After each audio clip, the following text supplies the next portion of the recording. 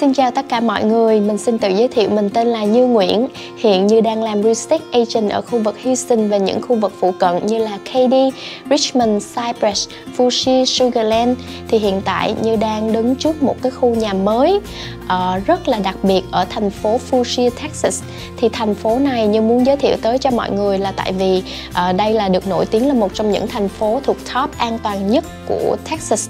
Uh, Và khu vực này á, là có thuế sẽ là 3.19 uh, và HOA sẽ là 1.200 một năm. Uh, cái khu vực này thì từ đây mình đi xuống uh, khu Berlin người Việt của mình đó là khoảng 30 phút lái xe và nằm ráp danh với lại thành phố Katy và Richmond. Uh, từ khu vực này có những cái shopping center của người Mỹ như là uh, Walmart Shopping Center hoặc là TJ Maxx và những cái nhà hàng ăn uống nổi tiếng của Mỹ thì chỉ cách đây khoảng 5 tới 7 phút lái xe thôi. Và hệ thống trường học ở đây rất là nổi tiếng là trường học tốt. Uh, bên cạnh đó cái điều đặc biệt á, là những ngôi nhà mới trong cái khu vực này là chỉ tọa lạc trên những miếng đất. Có hai cái lot size duy nhất đó là half acre và one acre. Có nghĩa là cái miếng đất ở đây một ngôi nhà nó nằm trên một cái miếng đất rất là lớn luôn. Và những ngôi nhà cách nhau rất là xa cho nên là uh, mình uh, những ai mà muốn sống một cuộc sống yên bình nè sống xa nhau và có được cái không gian cho con cái hoặc cho gia đình mình sinh hoạt thì như nghĩ đây là một trong những cái khu vực rất là đặc biệt. Hiếm có cái khu vực nào mà họ build trên những cái miếng đất mà rộng lớn như thế này. Và trong cái khu vực này cái điểm đặc biệt là dành cho những ai yêu thích thiên nhiên có cây cối cao lớn rộng uh, và có sông hồ thì như thấy đây là một cái địa điểm rất là nổi tiếng nó rất là khác biệt so với những cái khu nhà mà nhà mới mà xây san sát nhau thì đây là cái khu vực mà cảm thấy mà khi mà mình ở đây mình cảm thấy rất là thoải mái và gần gũi với thiên nhiên. Thì ở đây là nó có những cái bike and trail để mà mình có thể đạp xe đạp nè hoặc là mình uh, chạy bộ hoặc là mình uh, có những cái công viên mà cho con nít chơi cũng như là nó có một cái hồ để mà mình có thể câu cá. Ờ, và những cái hồ này là những cái hồ tự nhiên luôn rất là gần gũi với thiên nhiên. Thì khách của như cũng có rất là nhiều người họ thích sống trong những cái khu vực mà cây cối nhiều mà được nhà mới như thế này thì rất là khó. Thì đây là một trong những cái khu vực mà như muốn giới thiệu tới cho mọi người. Cái builder mà xây cho cái khu vực này sẽ có tên là Troy Point. Thì builder Troy Point được biết tới là những cái builder rất là chất lượng ở tiểu bang Texas. À, họ chuyên build những cái căn nhà có diện tích lớn. Thì như ví dụ á, cái khu mà như đang đứng đây á, thì build trên half acre hoặc là one acre thì diện tích nhà thấp nhất của họ là sẽ là từ 3.600 square feet cho tới 5.001 square feet. Từ nhà trệt tới nhà lầu cũng có. Và như thấy là thấp nhất á, là sẽ là 4 phòng ngủ và cho tới 5 6 phòng ngủ luôn tùy như mình muốn như thế nào. Là cái giá dao động á, cho cái căn nhỏ nhất ở đây là từ 3.600 square feet á, nó sẽ là từ 770 cho tới 1 triệu, 1 triệu 2, 1 triệu 1 cũng có. Thì nó tùy vô cái diện tích và cái mẫu mà mình muốn nó như thế nào. À, đặc biệt á, là cái mẫu mà như đang đứng ở đây sẽ là một cái model home. À, diện tích của nó sẽ là 4.600 square feet uh, có 4 phòng ngủ nè và 4 phòng rưỡi bathroom. Trong khi đó là có thêm được một game room nè uh, một cái phòng office và có dining room. À, bên cạnh đó là họ có cho mình ba cái xe gara cũng như là cái ngôi nhà này sẽ tọa lạc trên cái miếng đất là một acre. À, bên cạnh đó có một cái điểm đặc biệt như rất thích cái căn nhà mẫu này là họ có build thêm một cái ngôi nhà nhỏ nhỏ ở đằng sau cho khách. Thì trong đó có cả giống như là phòng ngủ nè phòng khách cũng như là nhà bếp à, trong cái ngôi nhà nhỏ đó luôn. Thì à, như muốn giới thiệu tới cho mọi người để mọi người có thể xem là cái ngôi nhà ở trong nó như thế nào. Và cái ngôi nhà này á, thì có cái giá khởi điểm á, sẽ là 880 ngàn. Nhưng mà đến khi á, mà mình phải upgrade mình chọn thêm lót nè cộng với những cái upgrade ở trong thì như nghĩ là mình sẽ à, dành thêm ra khoảng 200 ngàn cho tới 300 ngàn. Thì cái ngôi nhà nó mới ra đẹp. Thì như nghĩ là total mà một cái ngôi nhà như thế này mà để hoàn thành á, thì nó khoảng đâu đó là một triệu mốt cho tới một triệu hai. Thì đây là một cái budget cho cái ngôi nhà lớn như thế này. Thì bây giờ mọi người cùng như uh, đi tham quan cái ngôi nhà uh, đẹp như vậy nó có những cái gì ở trong nha. Thì như đang đứng trước uh, cái mặt tiền của cái ngôi nhà thì như mọi người có thể thấy á, là nhà được xây dựng bởi cái màu trắng rất là đẹp luôn và cái chiều ngang của nó rất là rộng. Tại vì nó tọa lạc trên một mảnh đất là một acre lận. Thì khi mà mọi người mà muốn một ngôi nhà mà được rộng về bề ngang á thì uh, như thấy là cái ngôi nhà này rất là thích hợp. Đặc biệt á, là phía trước á, họ có xây cho mình một cái French porch ở ngay đây. Uh, rất là rộng rãi luôn. Ở phía trước này là mình có thể là để một cái ghế uh, để mà mình có thể là mình ngồi nhìn ra cái khu vườn phía trước của mình. Đặc biệt cái như thích á, là phía trước này á là họ làm trồng bông trồng đồ. Mình nhìn thấy rất là thoải mái luôn. Rất là lý tưởng để mà mỗi buổi sáng mình có thể mình ra mình ngồi phía trước nhà phải không? À, và cái điều mà như thích ở đây á, là cái ngôi nhà này là họ có double door thì như mọi người có thể thấy á, người Việt mình nó rất là thích những cái kiểu nhà như thế này. Người ta nói là nhà sang cửa rộng thì đây là một trong những cái yếu tố mà giúp cái ngôi nhà này trở nên rất là sang trọng luôn là họ có được double door. Thì mình cảm giác là khi mà mình đi vào trong nhà thì cái cửa nó đã chào đón mình rồi. Thì đây sẽ là cái mảnh phía trước nhà. Bây giờ cùng như đi vào trong để mình tham quan ở trong nha thì khi mà mình vừa bước vào trong nhà thì như cảm thấy đây là một cái không gian rất là thoáng luôn. Thì như thấy là cái ceiling nó rất là cao và hai bên nó mở rộng ra thì làm cho mình cảm giác rất là thoải mái. Thì khi mà mình vừa bước vào trong nhà thì bên tay trái của mình ở bên này, á, nó sẽ là một cái phòng office để cho những ai mà mình làm việc, á, thì như nghĩ là đây là một cái không gian rất là lý tưởng luôn thì ở đây là họ có đóng những cái kệ để mà họ trang trí lên. Nhìn nó rất là sang trọng. Cộng với đó là họ làm cho mình thêm một cái đèn chùm ở trên này nè. Nó rất là đơn giản nhưng mà như thấy nó rất là tinh tế ở trong đây. À, và cái view của nó là mình nhìn ra được phía trước nhà. Đó thì có hai cái cửa sổ và rất là cao lên như thế này thì mình nhìn ra phía trước nhà. Mình ngắm được cây cối và mình làm việc trong cái lúc đó thì như nghĩ rất là thoải mái và relaxing luôn thì đó là cái không gian của cái phòng uh, office. Còn bây giờ là mình đi qua phía bên tay phải như bên này á nó sẽ là cái phòng formal dining. Thì formal dining đây á là cái khu vực mà cho khách á, mỗi khi mà mình có uh, khách mình mời tới thì đây là cái không gian để mà mình có được những cái bữa ăn mình đầm ấm bên nhau. Nhìn rất là sang trọng để mà mình có thể mời khách thì cái không gian này á, rất là rộng luôn. Cái bàn này là mình để được một cái bàn dài và có thể được tới 10 cái ghế ăn. Bên cạnh đó là nó cũng có được hai cái cửa sổ. Bên này để mà mình nhìn ra phía trước nhà thì làm cho cái không gian của cái phòng này nó không có bị tối. Mình nhìn nó rất là thoáng và trong lành luôn á. Như thấy là vừa đi vô mà có cái phòng học bên này và phòng ăn bên này thì làm cho cái ngôi nhà nó sáng. Nói chung là nó rộng ra nó không có bị bít bởi hai bức tường đó thì bây giờ là cùng như đi xuống tiếp theo để mà mình coi trong này. Thì ở dưới đây đây là một cái hallway nhỏ nhỏ để mà mình có thể mình đi xuống tiếp tục dưới cái phòng khách và phòng nhà bếp. Nhưng mà trước khi qua thì như thấy ở bên này á cũng còn thêm những cái không gian khác nè. Mình đi vô tiếp theo trong này á, thì đây sẽ là cái căn phòng half bathroom uh, có một cái sink nè và một cái toilet nhỏ nhỏ để mà cái căn phòng này á, thì uh, khách có thể dùng ở đây mỗi khi mà họ tới thăm mình á để cho mình không có khách họ không có dùng chung với lại những cái căn phòng bathroom với lại những người trong gia đình. Thì như thấy là cái chất liệu họ làm rất là tốt. Như mọi người có thể thấy á, thì đây á, là một cái chất liệu là bằng quartz bằng đá. Và họ làm như mọi người có thể thấy á, là những cái tủ á, đây là những cái loại tủ rất là cao cấp ở đây. À, chất lượng như thấy rất là tốt luôn. Và cái cách mà họ trang trí rất là đẹp. Họ đóng gỗ như thế này và ở trên này là có những cái giấy dán tường nhìn cái phòng rất là sang luôn. Và tiếp tục đi xuống dưới phía đây á thì ở đây á, sẽ có một cái phòng giặt trong này thì phòng giặt ở đây á, là họ có làm sẵn cho mình một cái cabinet và một cái kệ ở trên này. À, bên cạnh đó á, là phía bên này như mọi người có thể thấy á, là có thêm một cái sink cho mình nữa để mà mình có thể giặt những cái đồ mà mình cần giặt bằng tay á, nó cũng rất là tiện luôn. Và cái điều đặc biệt á, là cái phòng này nó nối với lại cái phòng master uh, bathroom nhưng mà chút nữa như sẽ dẫn mọi người vô trong đó để mình đi ra ngoài đây để mình thấy nó link với nhau. Và tiếp tục á, mình đi vô trong này á nó sẽ là một cái phòng ngủ và có cả phòng tắm ở trong này luôn. Thì cái ngôi nhà này á, cái điều đặc biệt á, là tất cả phòng ngủ đều có phòng tắm ở trong cái căn phòng đó hết cho nên rất là tiện luôn. Thì cái căn phòng ngủ này á cũng có cửa sổ hướng ra phía trước nhà. Đó thì hai cái cửa sổ cũng rất là lớn và mình nhìn ra mình thấy được cái không gian phía trước nhà. Thì như thấy cái căn phòng này rất là rộng luôn nó giống như là một cái size của master như vậy đó rất là thoải mái. Những ai mà có ba mẹ lớn tuổi hay gì đó thì như thấy cái căn phòng này sống sẽ rất thoải mái cho ba mẹ của mình.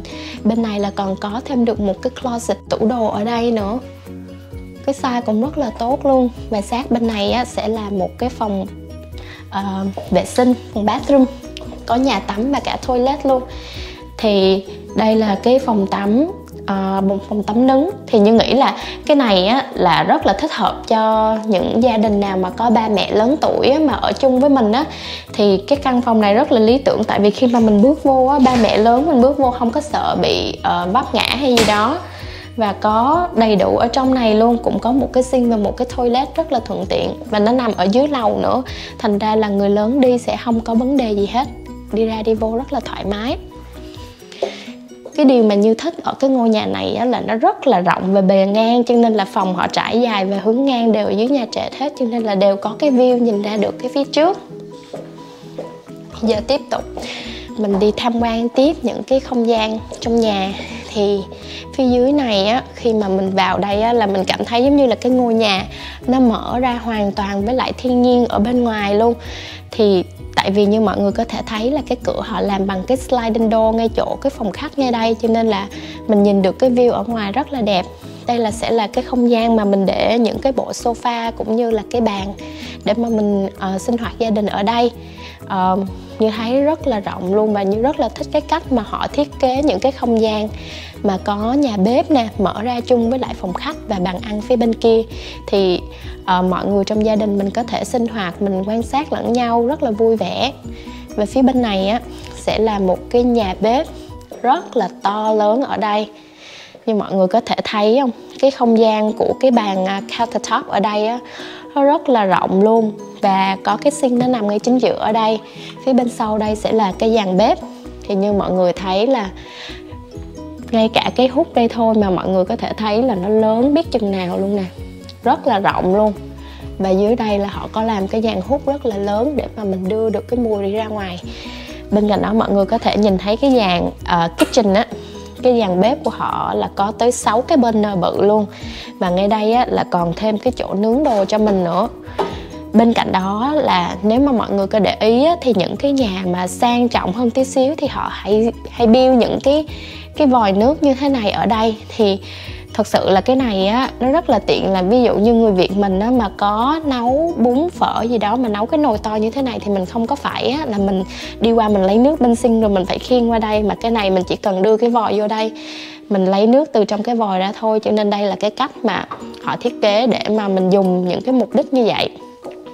Và rất là nhiều cabinet vòng vòng. Cái uh, counter ở ờ, cái cái cái cái nhà bếp của mình.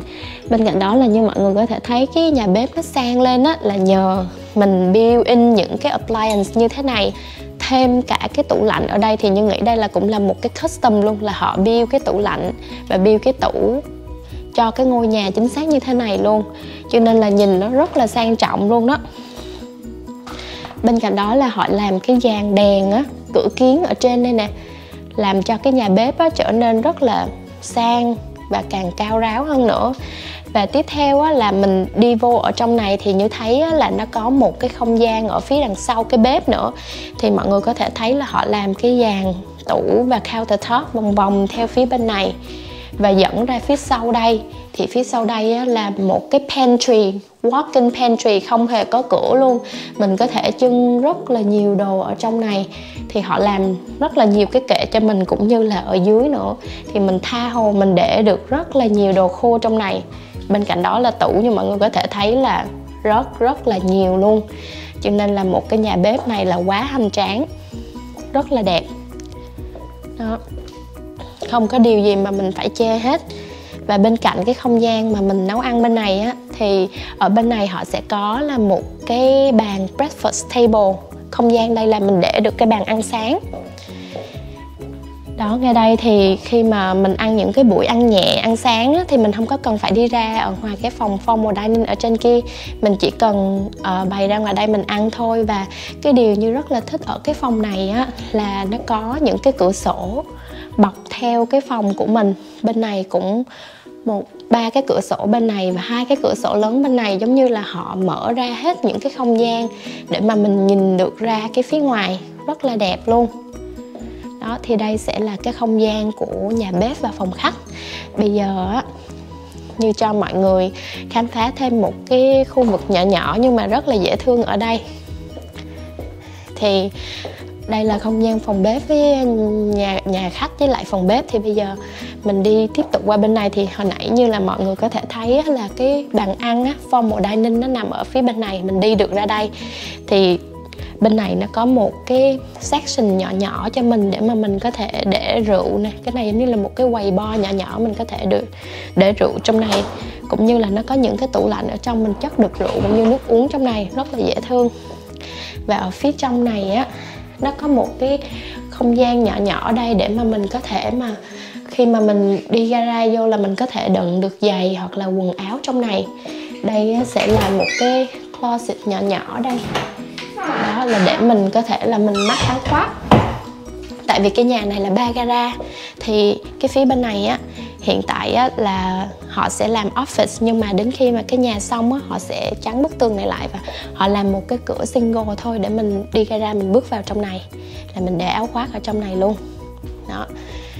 Bây giờ tiếp tục theo như mình đi vô uh, coi một cái căn phòng rất là quan trọng của một cái ngôi nhà đó là phòng master bedroom.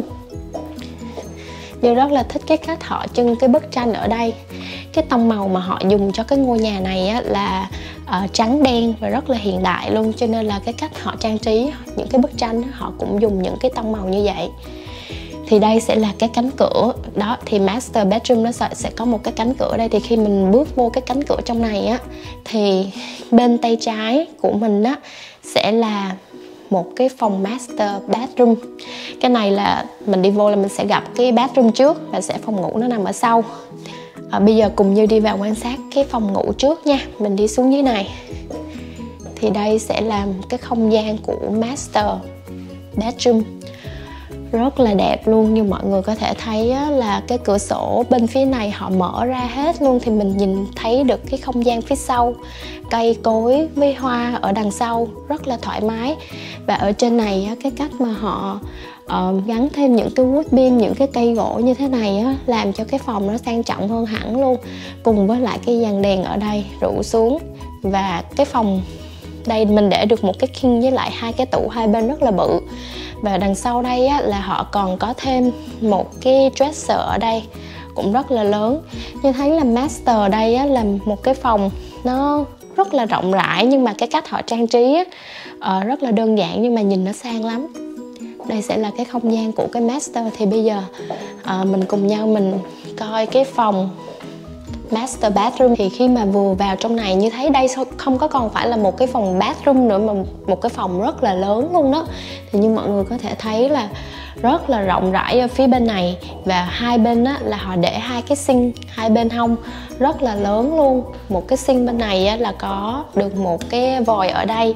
Uh, cái chiều ngang của nó như thấy rất là rộng rãi và mình có thể đứng rất là thoải mái. Và phía bên này á, cũng là một cái sink tiếp theo nữa. Thì nó có cả một cái không gian để mà mình có thể mình ngồi mình make up ở đây nữa. Thì như thấy là rất là tiện giống như là his and her vậy đó. À, cái điều như thích nữa là cái ceiling ở đây á, nó rất là cao luôn. Làm cho mình vô cái phòng tắm mà mình cảm thấy nó rất là thoáng.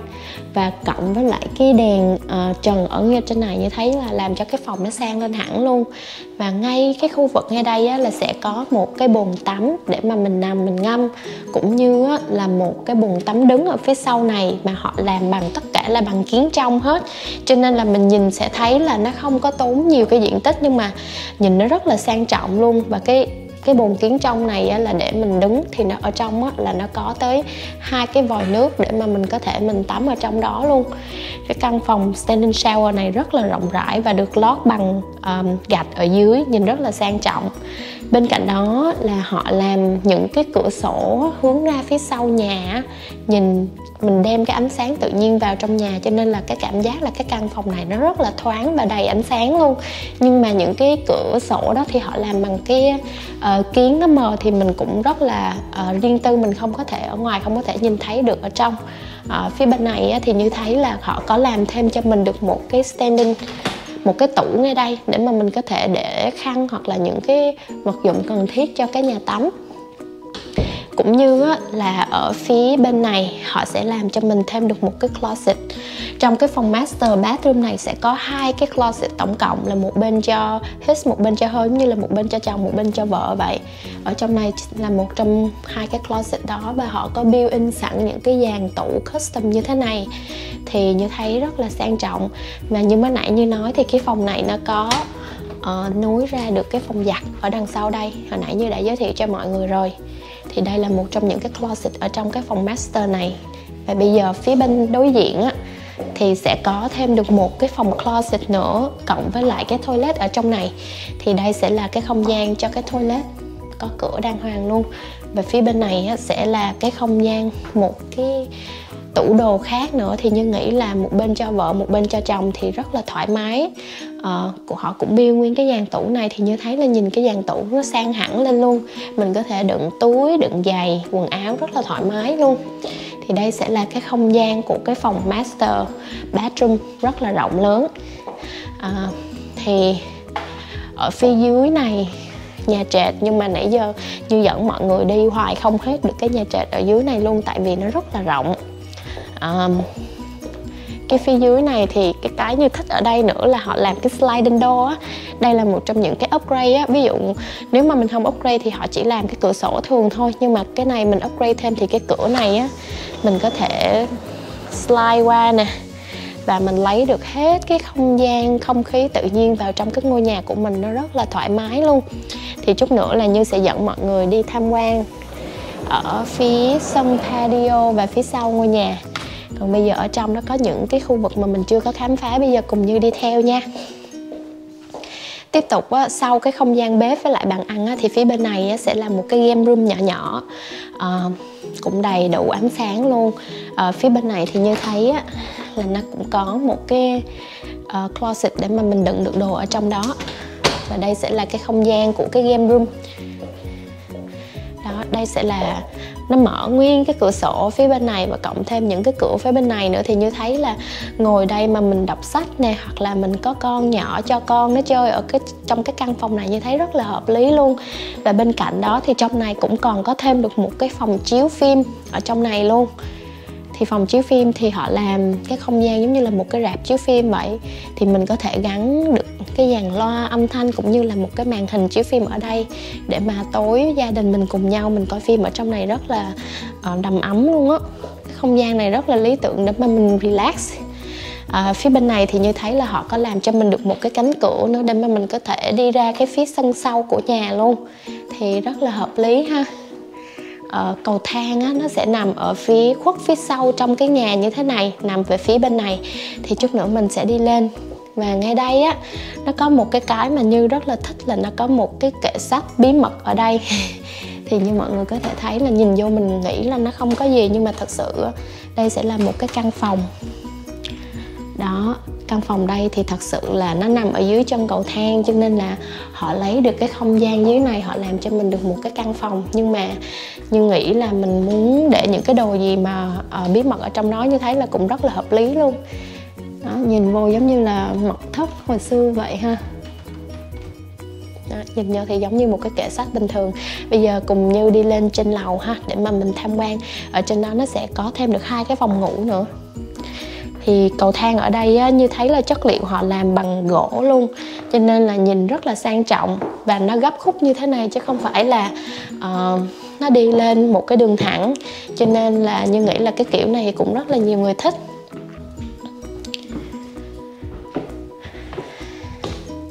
Khi vừa đi lên trên này á, thì cái không gian trên này á rất là ấm cúng ấm cúng hơn hẳn so với ở dưới.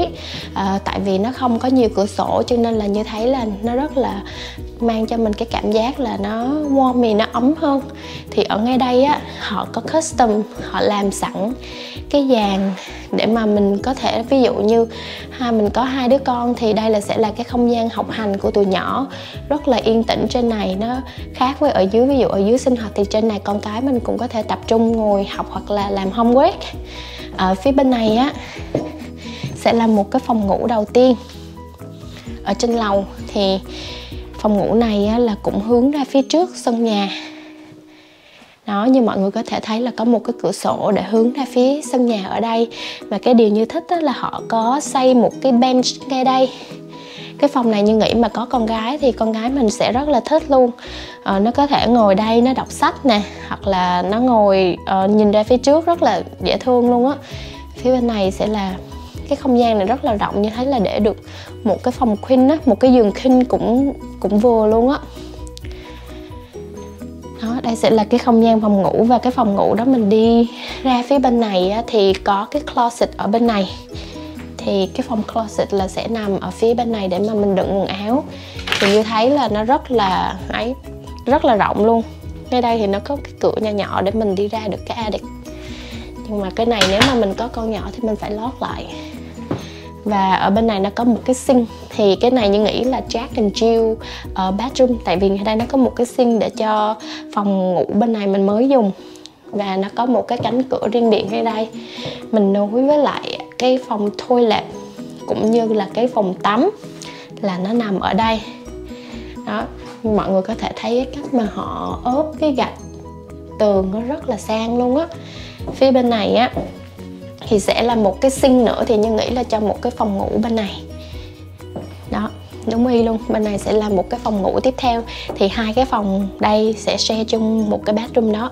Thì bên này sẽ là cái căn phòng ngủ thứ hai ở trên này rất là dễ thương luôn. Rất là ấm cúng.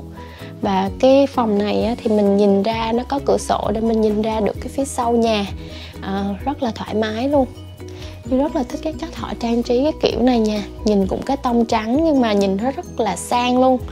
À, Phía bên này như thấy cũng có được một cái closet ở trong này. Cũng rất là rộng rãi.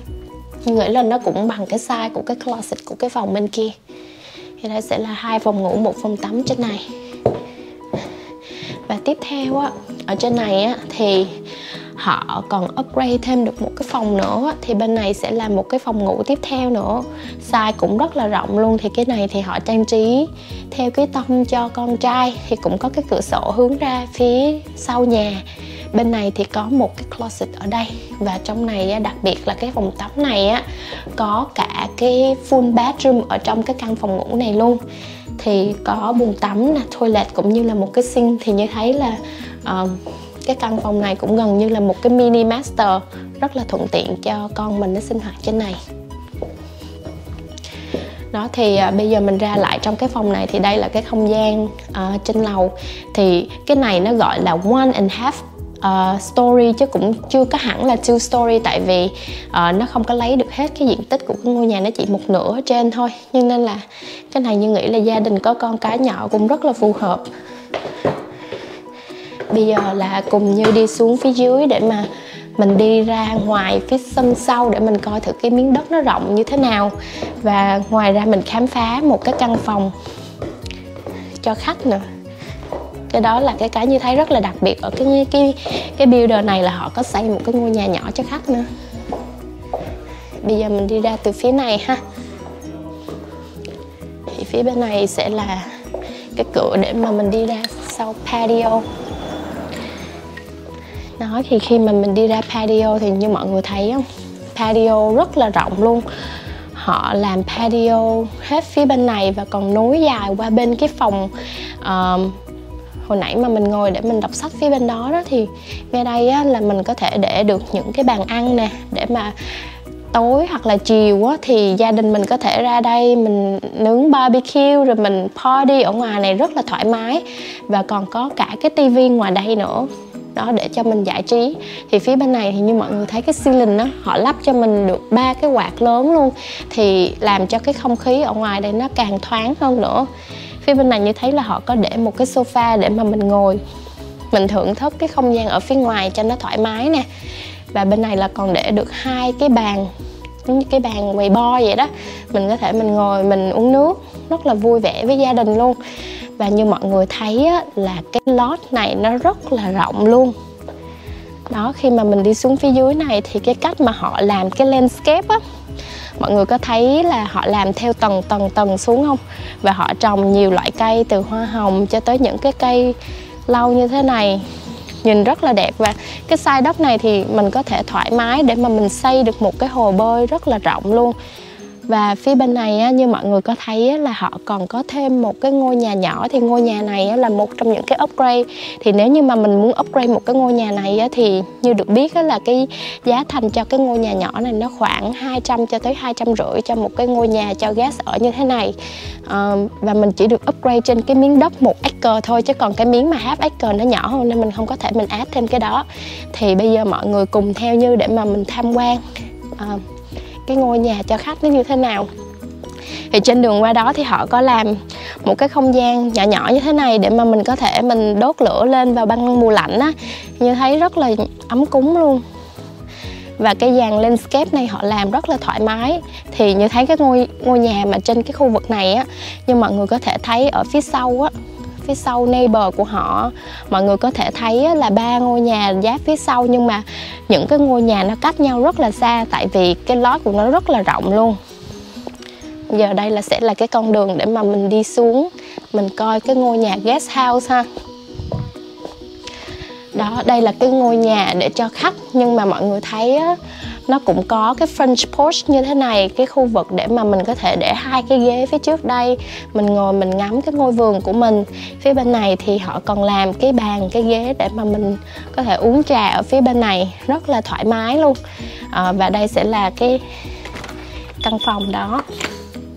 Thì khi mà mình bước vô á cái này giống như là một cái mini house, một cái ngôi nhà bé tí nhỏ xinh vậy đó. Thì khi mọi người bước vô á, tuy là nhà nhỏ nhưng mà mọi người có thể thấy họ làm cửa sổ á, rất là rộng từ bên trái qua bên phải. Thì làm cho cái ngôi nhà mình có cảm giác là mình thấy được hết những cái view, những cái vườn bông xung quanh nhà, cũng như là lấy được hết ánh sáng tự nhiên vô luôn. Thì khi mà mình bước vào á, thì đây sẽ là cái không gian nhà bếp có cả tủ lạnh luôn. Cái này giống như là một cái ngôi nhà đầy đủ luôn không có thiếu cái gì hết. Thì đây là tủ lạnh ở bên này. Là bên này á thì sẽ là cái sink để mình rửa đồ ăn. À, và họ cũng làm những cái chất liệu rất là cao cấp nha. Như mọi người có thể thấy cái gian tủ ở đây chất liệu cũng giống như y chang, y chang ở phía trong cái nhà bên kia thôi. Và ngay đây là họ có làm microwave cho mình nè.